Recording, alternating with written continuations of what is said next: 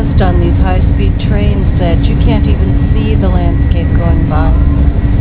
And I find it very disorienting to stay in a seat, especially when one is sitting backwards as I was. So I like to get up and stand in, a, in an area with a window, even though it's kind of, kind of hard for me to walk. Kind of disorienting. We did have some technical problem on this train, and I was kind of joking with the crew here. I said, "Oh well, you know, Mercury's retrograde." But they looked kind of nervous, so I stopped. I thought, okay, they don't need to hear me teasing about technical problems on this train. Probably driving them nuts with what they've been warned about security briefings, right?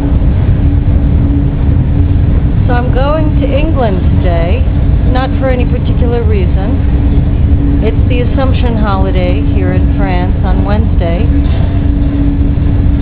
And this is normally a very, very, very slow week my agency is closed. I was amazed that I got a phone call at the end of the day yesterday um, about a job I've applied for. You know, they, I thought, wow, they either are not serious or it's really a slow day.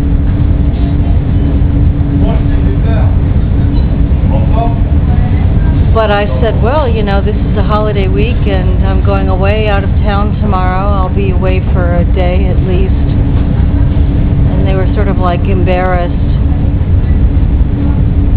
But that's what we do in France, you know, we take vacations.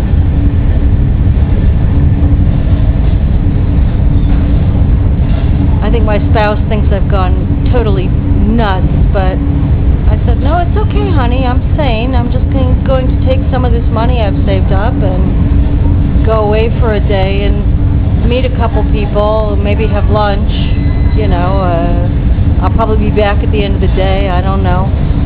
He was just kind of shocked. But, you know, he's totally forgotten that he used to wander off for weeks at a time back in the day. He's just become all grown up and responsible now, so he doesn't do that sort of thing. Must be great to be a grown up. I sure don't know much about it. Alright see you later. I'll be in the UK. I'm still